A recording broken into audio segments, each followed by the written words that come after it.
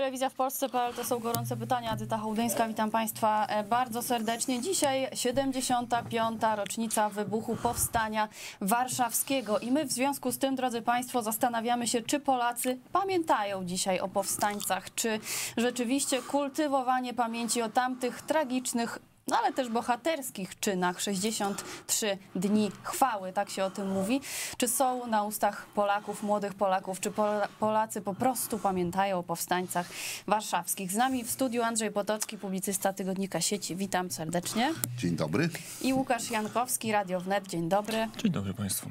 Na początek e, e, świeża wypowiedź prezydenta Andrzeja Dudy z warszawskiej Woli, gdzie o godzinie 11 złożony został wieniec przy tablicy upamiętniającej 2,5 e, tysiąc, tysiące Polaków zamordowanych właśnie na Woli.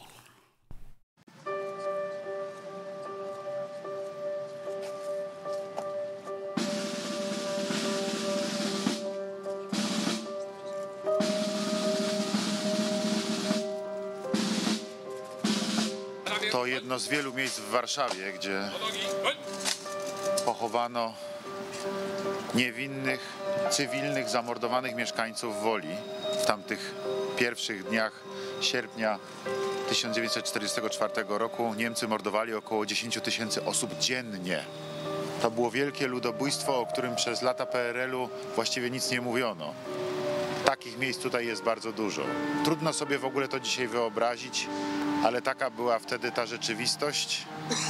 To była ta cena, którą mieszkańcy Warszawy i Warszawa zapłacili za dążenie do wolności. Przez lata o tych Polakach, o tych warszawiakach nie mówiono, powiedział prezydent e, Andrzej Duda. Czy dzisiaj ta pamięć się odradza w związku z tym? Andrzej Potocki. Niewątpliwie tak. Prawie co roku przyjeżdżam do Warszawy y, na obchody Powstania Warszawskiego i z roku na rok widzę coraz więcej ludzi, młodych ludzi, y, którzy wychodzą na ulicę w godzinę W. Niektórzy mają rację, tak jak ci, którzy pokazują e, swoją pamięć do bohaterów Powstania Warszawskiego na skrzyżowaniu Alei Jerozolimskich i Marszałkowskiej w centrum miasta i tych ludzi jest zdecydowanie z roku na rok e, coraz e, więcej. Do tego jeszcze mm, dodajmy obchody na cmentarzu powązkowskim. To jest takie miejsce, wyjątkowe, wyjątkowe na całym świecie, albowiem w żadnym kraju nikt tak nie obchodzi takiego dnia pamięci w ten sposób, y, kiedy po zachodzie słońca mamy to Morze Zniczy, y, które to Morze Zniczy świadczy o tej właśnie pamięci, którą kolejne pamięci. pokolenia których o, o pamięci, o, o, o wdzięczności, y, które to kolejne młode pokolenia y, zachowują w sercach i y, można spokojnie powiedzieć. Nie wiem, jak to wygląda procentowo, ale nigdy nie jest tak, że to cały naród będzie obchodzić, świętować, cała młodzież. Waka, przypomnijmy, było około 4% społeczeństwa tylko, czy aż. Natomiast w Warszawie AK liczył liczyła około 25%. Mhm. To jest z pozoru mała liczba, ale w rzeczywistości porównując zaangażowanie z innymi państwami, to jest bardzo duża liczba. I podobnie jest teraz z tymi, którzy obchodzą. Tu ważne jest to, że coraz więcej młodych ludzi to o, o tym pamięta i dba o tę rocznicę. Y, no i to jest budujące. Bo wreszcie mówi się o tych polskich bohaterach. Rzeczywiście przez lata temat był przemilczany. Godzina W, godzina 17, też ten moment wyjątkowo wzruszający, poruszający, kiedy całe miasto, ale więcej, bo e, znaczna część e, większych miast Polski, mniejszych też zatrzymuje się na chwilę o godzinie 17, e, upamiętniając właśnie wybuch Powstania Warszawskiego, upamiętniając ofiary e, Powstania Warszawskiego. Wyjął syreny, ludzie wychodzą właśnie z tymi racami, jak opowiadał Andrzej Rafał Potocki. Czy młodzi pamiętają, Łukasz? To na pewno pamiętają, bo to widać na ulicach Warszawy i innych miast. Zresztą ta kwestia ma co najmniej trzy, pewnie więcej, ale trzy teraz wymieńmy, trzy równoległe wymiary. E, po pierwsze, co jest wyjątkowe w pamięci po powstaniu warszawskim, e, to jest fakt, że jego instytucjonalizacja, że jego upaństwowienie nie wpłynęło na spadek uczestnictwa. Bo jest wiele takich y, mitów czy mm, obszarów pamięci, które kiedy wchodzą w obszar państwa, kiedy to instytucje państwa się nim zajmują, no to spada spontaniczność, tak? Odbywają się akademie rządowe, samorządowe, mm, natomiast y, nie jest realizowany ten oddolny ruch, y, to jest wyjątkowe mamy bardzo silne zaangażowanie państwa, na nawet e, samorząd pod e, wodzą pana Trzaskowskiego, kapitana Palety, e, nawet tutaj zachowuje się godnie, a mimo to jest to cały czas ruch spontaniczny. To jest cały czas oddolna inicjatywa, która się łączy i świetnie kooperuje z państwowym współdziałaniem i to jest wyjątkowe i o to warto dbać. Drugi wymiar to jest to, to przypominanie, co też się powoli dzieje, że to nie tylko żołnierze, nie tylko bohaterowie, ale także tragedia i gehenna ludności cywilnej. Bo o tym też trzeba pamiętać i to w ostatnich latach jest przypominane, bo przez chwileśmy się zachłysnęli tym duchem bojowym i słusznie, i bardzo słusznie, ale warto też pamiętać, że e, nie, to nie tylko byli żołnierze Armii Krajowej, którzy walczyli, to też była ludność cywilna, która cierpiała, modliła się i też na swój sposób walczyła w piwnicach tego miasta, to jest niesamowite, kiedy z naszego miasta, bo ja się w Warszawie urodziłem, to jak mój ojciec, jak mój dziadek, od strony ojca i to jest niesamowite, że z tego miasta zrujnowanego, gdzie było morze ruin, wyszło ponad, grubo ponad ćwierć miliona ludzi. E, poukrywanych w piwnicach, rozmodlonych przy kapliczkach. To był niesamowity e, cud. No i wreszcie e, trzecie to jest ten cud pamięci, bo ja pamiętam, jak byłem małym chłopcem, to jeszcze pamiętam pamięć czysto prywatną, tak, że u mojej babci był gobelin, były obrazki, ale to była pamięć warszawiaków trochę prywatna, tak, nie wiedzieli, co się stało, bo ktoś tam współpracował, wiedzieć Andrzej o tych 25%, tak, to trzeba wiedzieć więcej, bo na przykład moi dziadkowie nie walczyli w powstaniu, mieszkali na Pradze, ale był skład akowski i skrytka akowska, i magazyn broni Akowski, tak? Więc to te, ten szereg się nagle roz, ro, ro, No tak, rozprzestrzenia, jest bo, trudno policzyć. po bo ta kooperacja była ogólnospołeczna i ten trzeci wymiar, o którym chciałem powiedzieć, żeby, co jest wyjątkowego w tym święcie, to jest e, skala represji nazistowskich w Warszawie, niemieckich. Znaczy, y, obywatel Paryża, n- Londynu, n- innych miast okupowanych, y, Pragi, e, Bratysławy, nie jest w stanie sobie wyobrazić, czym było powstanie warszawskie, bo nie jest w stanie sobie wyobrazić, bo często nie ma bladego pojęcia, czym była okupacja niemiecka w Warszawie. lat okupacji E, Czym niemieckiej. była łapanka w ogóle? To jest, często to podkreślam, czy w ogóle... O każdy dzień życia. Tak, czy myśmy, czy udało nam się przetłumaczyć w tym szerokim słowa znaczeniu e, na język angielski, francuski, nawet niemiecki e, słowo łapanka. E, Całego pola semantycznego tego znaczenia, że, że wychodzisz na ulicę Warszawy, nie tylko Warszawy, ale zwłaszcza Warszawy i nie masz bladego pojęcia, czy wrócisz. Do tego dochodzi troska właśnie o bliskich, tych, którzy zostali e, w domu, martwią się, czy ich bliscy z kolei wrócą z tej łapanki e, żywi. I rzeczywiście w tym kontekście warto też poruszyć e, następującą kwestię. Czy to był potrzebny zryw? Bo o tym się mówi. Niektórzy mówią, może nie tego dnia, może nie 1 sierpnia, może nie należy poruszać tej kwestii właśnie dzisiaj, w tę okrągłą rocznicę, 75. rocznicę wybuchu Powstania Warszawskiego, ale mm, no jednak temat powraca. I Niektórzy publicyści twierdzą, że warto e, o tym mówić właśnie dlatego, żeby przypominać, e, w jakiej wtedy byliśmy rzeczywistości, w jakiej wtedy warszawiacy byli rzeczywistości, o co musieli walczyć.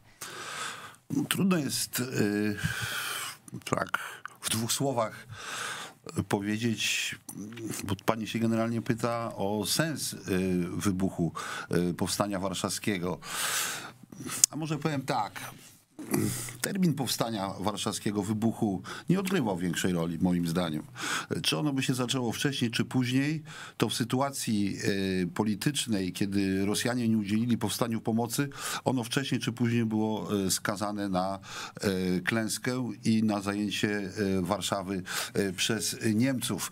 Ale ten zryw był potrzebny. Jednak, jednak, jednak musimy, analizując wybuch powstania i, i czy on miał sens, czy nie miał, należy na to spojrzeć kompletnie z innej strony. Po pierwsze, historycznie, wojskowo, e, musimy brać pod uwagę wiedzę, którą wówczas dysponowała Komenda Główna Armii e, Krajowej, a ta wiedza wskazywała na to, e, że raczej te powstanie należy, należy doprowadzić do wybuchu powstania, albowiem tak czy inaczej wycofujący się Niemcy po pierwsze mogą doprowadzić do hekatomby ludności Warszawy, mogą tę Warszawę zniszczyć tak jak ją zniszczyli zniszczyli y, po powstaniu, y, zrywając zresztą y, ten punkt umowy kapitulacyjnej, która gwarantowała, że Warszawa taka jak zostanie, została po powstaniu, ona zostanie. Niemcy tę umowę złamali i, i zniszczyli Warszawę. W związku z tym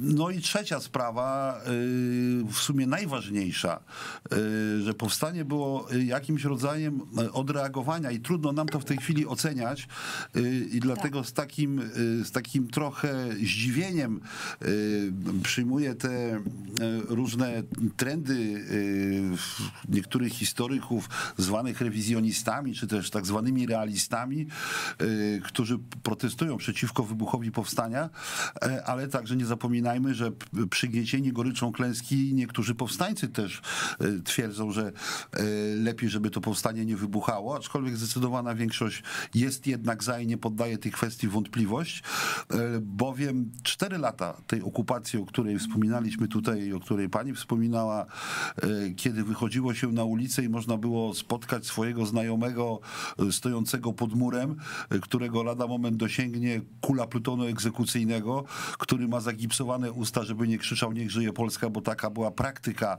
tych ulicznych egzekucji, które masowo były stosowane w Warszawie, czego nie można było powiedzieć o takiej masowości ani w Paryżu, ani w innych okupowanych miastach e, Europy. E, cała ta groza okupacji, e, która była wyjątkowo okrutna, to już takie apogeum okrucieństwa to było powstanie warszawskie, apogeum okrucieństwa, brutalności. To są historie, których po prostu, które nie przechodzą przez gardło, tak to było. To, byli po prostu, no to były takie okropieństwa, których dopuścili się tutaj Niemcy, że ludzka wyobraźnia, no trudno jest to objąć e, ludzką wyobraźnią.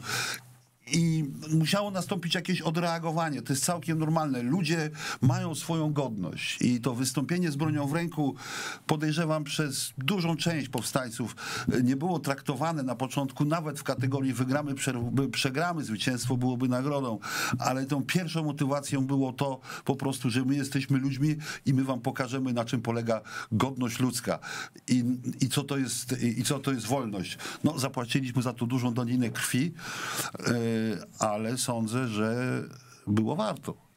Znaczy, no, to jest taki przedziwny chór, który się ukształtował krytyków powstania, który łączy, przepraszam, że mówię, taką osobę wspominam, no, ale to jest chyba charakterystyczne m, Jerzego Urbana z częścią e, dalekiej prawicy, czy nawet patoprawicy, m, że to powstanie było niepotrzebne. No, jedni mówią, że ułatwiło nam sowietyzację Polski, drudzy mówią właśnie dokładnie to samo, tylko m, wydaje im się z zupełnie innych pozycji.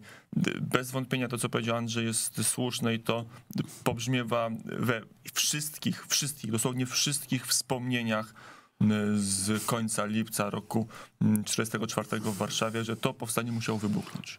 Że niezależnie jaka byłaby decyzja komendy, e, jaka byłaby decyzja m, dowódców wojskowych, e, chłopcy, młodzież, m, dorośli, którzy byli szkoleni przez 5, przez 4 lata, byli, y, złożyli przysięgę, byli przygotowywani do walki, e, mogliby nie przyjąć rozkazu o tym, że e, jednak patrzymy, jak nasza, jak nasza stolica płonie w ogniu starcia niemiecko-sowieckiego. Zresztą pamiętajmy historię Mińska. E, W Mińsku, chociaż Białoruś zapłaciła ogromną daninę krwi i rzeczywiście e, ci, którzy mordowali potem ponad 40, 50, 60 tysięcy osób w, w kilka dni wymordowano na, na woli, e, to te jednostki Wehrmachtu, te jednostki niemieckie uczyły się w cudzysłowie swojego fachu na Białorusi właśnie, ale mimo w Mińsku Białoruskim nie było żadnego powstania, a było to miasto tak samo zrujnowane jak Warszawa. Znaczy gdyby, e, i tutaj, czy by to zrobiły ruskie armaty bombardujące niemieckie pozycje w ramach twierdzy Warszawa, to